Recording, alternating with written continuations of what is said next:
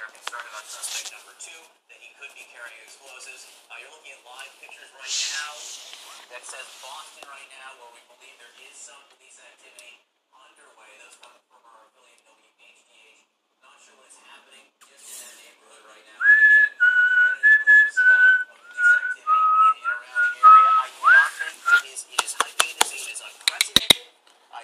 hyping at all to say that it's extraordinarily dramatic. Uh, you do have here who is former Homeland Security